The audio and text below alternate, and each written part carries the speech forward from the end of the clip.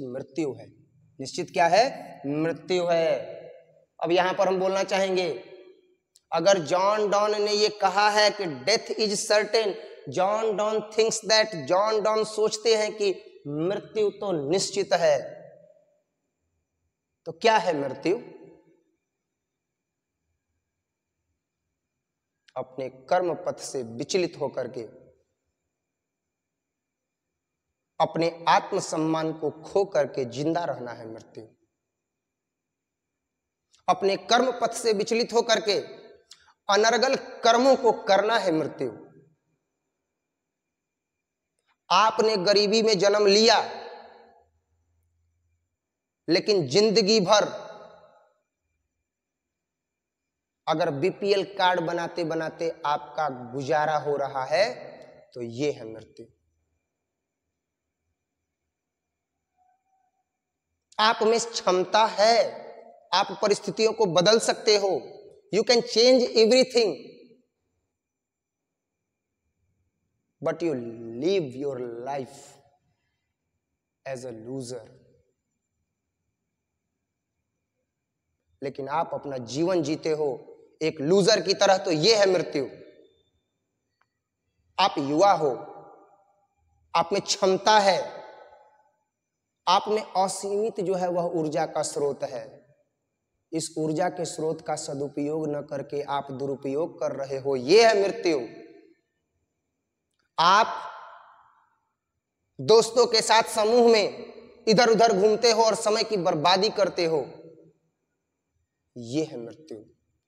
यह मृत्यु किस चीज़ की है? आपके भविष्य की है, क्योंकि आपने अपने भविष्य को बेहतर बनाने के लिए अपने आप को इस युवा अवस्था में झोंका नहीं तो जब झोंका नहीं तो यह है मृत्यु। ज़िंदा रहना ही केवल ज़िंदा रहना नहीं कहलाता है। जब आप अपने हर एक नैतिक मूल्यों का गला घोट देते हैं, जब आप अपने कर्तव्य पथ से विचलित हो जाते हैं, जब आप अपने दायित्वों का निर्वहन नहीं कर पाते हैं, ये है मृत्यु। मृत्यु तो निश्चित है कि मृत्यु आनी है, लेकिन अगर आप ऐसा जीवन जी रहे हैं तो आप तिल तिल करके मर रहे हैं। ये है मृत्यु। मरने का आशय यह है कि आप अपने भविष्य का गला घोट रहे हैं। ये है मृत्यु। माफ़ी चाहूँगा कि कठोर शब्दों में मैंने आपको समझाने की कोशिश की है, लेकिन आज का युवा इन्हीं सारी चीज़ों में भटका हुआ है। आज का युवा इन्हीं सारी चीज़ों में भटका हुआ है। यही मृत्यु है। मृत्यु ये इस आशय में है कि आप अपने भविष्य का गला घोट रहे हैं। आने वाले समय में आप जिन मित्रों के साथ घूम रहे हैं, क्या वो आपका साथ देंगे? आप कभी फ़ोन कीजिए ना हाँ हेलो। हाँ शिवम पाँच हज़ार रुपया चाहिए भाई। बहुत बुरे कंडीशन में फंसे हुए हैं। डाल दो यार। फ़ोन पे पे भेज दो भाई। उधर से रिप्लाई क्या मिलता है? अरे भाई, अभी पैसा था, मैंने दूसरे को भेज दिया। नहीं आएगा वो काम। काम कौन आएगा? ये कलम। जितना मेहनत से पढ़ोगे। ये तुम्हारी तकदीर बदल देगी। मैं इसे एक अस्त्र के रूप में मानता हूँ।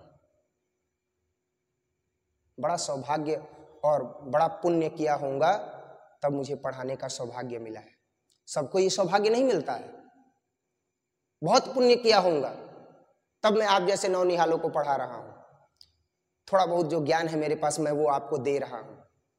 दिन रात लगा हुआ हूँ। देख रहे हैं ना, साढ़े सात बज रहा है रात के। क्यों? अपने भविष्य को बेहतर बनाने के लिए, आपके भविष्य को बेहतर बनाने के लिए। मुझे पता है कि मृत्यु निश्चित है, एक दिन मृत्यु आनी है, पर अपने कर्म को करते हुए अगर मुझे मृत्यु मिल जाए तो मेरे लिए सबसे सर्वोत्तम है। मैं नहीं डरता कर्म करने से। तो आप क्यों डर रहे हो? आप भी लग जाओ। अब नहीं लगोगे तो कब लगोगे? फिर मौका आएगा। ना, झोंक दो अपने आप को। कर्म पथ पर अपने आप को एकदम झोंक दो। ठान लो तो जीत है। मान लो तो हार है। निर्णय आपका होना चाहिए। आप कैसा जीवन जीना चाहते हैं? बस, मृत्यु के विषय में यही कहना था।